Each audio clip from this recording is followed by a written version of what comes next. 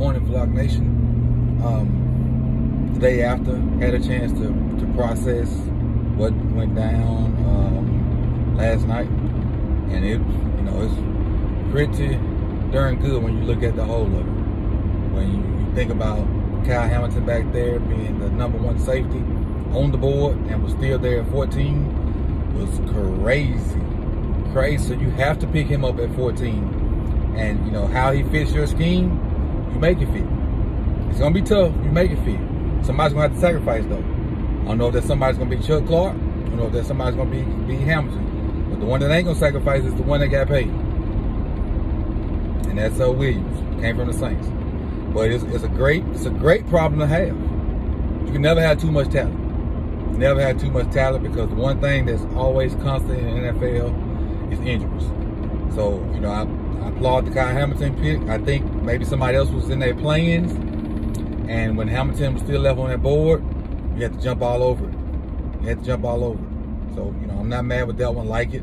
Uh, best safety on the board. My best safety, you know, in my cut-ups and stuff that I did, my previews that I did, he was the best safety. So cool with that. Uh, the second pick, trade back into the first.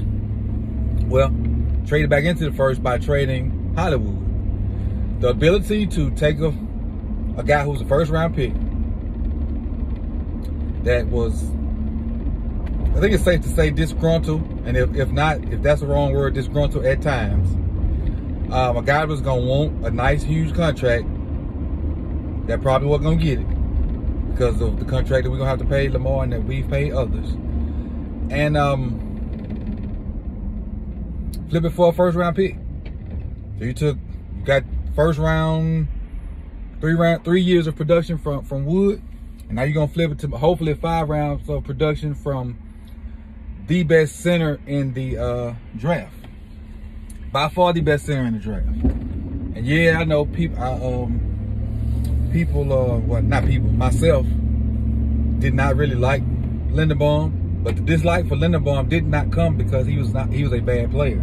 The dislike came because I was thinking and I still think to a certain extent that he was not a scheme fit. If you ran a lot of outside zone, inside zone, he'd have been perfect for you. Perfect, perfect, perfect, perfect. But we run a lot of gap stuff. So, you know, I, I know he understands leverage, being a wrestler, former wrestler and all that stuff. And he and I what I what I'm thinking the his deficiency is the wrestling part may help make up for it. And that's moving one technique to zeros in those gap schemes. And like I said last night, you got to move guys. You can't, stalemates won't work in gap, gap schemes. You got to move them guys off the point of attack, especially in the middle of that defense. You got to. But he may be able to do it. I hope he be able to do it now that he's a Raven. So, you know, all that negative stuff that was said or is being said, screw it. You're a Raven. Let's, it's up to Giro now to use that man to the best of his abilities. The, all the onus is on Giro. So now coming up for day two today, um, still need edge. Receiver is definitely a need now. Um, uh, and then you can kind of do what you want, in my opinion. You definitely need an edge guy.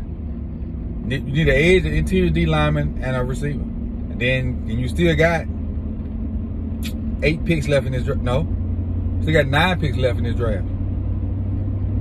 They got nine. You got six fourth rounders, which I think is a record. I don't think we're gonna use all of them. Um, a second, third, and a fourth. I don't know if we have. No, no, no. Yeah, six fourth rounders, a second, third, and a sixth. That's what we got left. So this is my little recap. I, the, the, trade with Hollywood, I, you know, it, you know, it is what it is. He wanted out. DeCosta say he requested to be traded and they did a great job of keeping that, you know, private. I uh, salute uh, DeCosta's team and Hollywood's team for not making a spectacle out of wanting to be traded. And, um, you know, much success out there with, with Nuke and, and Kyler, because Kyler is his boy. Kyler is his boy. Kyler is his boy. So, uh, you know, LeVar's boy too, but, but you know, Kyler's, Kyler's got two. So, um, tonight again, I'll be on with uh, Ken and others. Not sure who the others are going to be uh, starting at seven for the um, second and third round, man. Hey, appreciate y'all for rocking with me on this morning commute to work. And the ones that see the, the back of my rearview mirror, don't come in. Peace, y'all.